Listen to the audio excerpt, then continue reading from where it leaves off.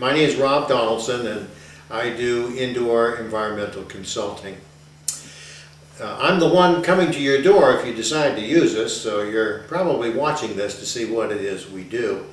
If you stick around for another minute or so, I'll try and explain it.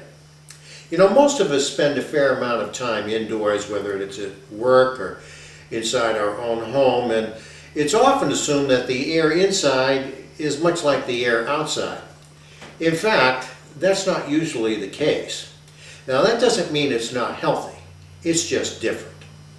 For instance, in the winter, it's cold outside, so we condition the air inside by heating it, making it warmer. Simple enough. Sometimes though, the air inside is sending us messages that not all is well. Maybe it's a little stuffy or our eyes might get irritated, there's an odor in the air or the windows are condensing when it's cold. There can be lots of signs that something isn't quite right. That's where I come in. I bring all these gadgets and meters and I test and measure what's in your air and how much of it. Now, if there's something in your air that there's too much of or shouldn't be there at all, I'll be able to tell you. And that's important and valuable information.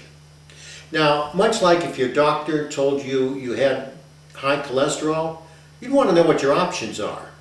And that's the other half of what I do. Like your doctor, I'll be able to tell you the source of your high readings and what your options are.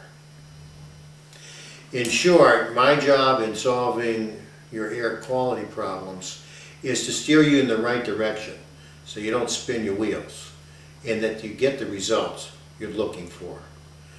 Now that was about two minutes and now you know what it is I do. So if you think you might be interested in our services, check out the rest of our website and by all means, give me a call. Bye.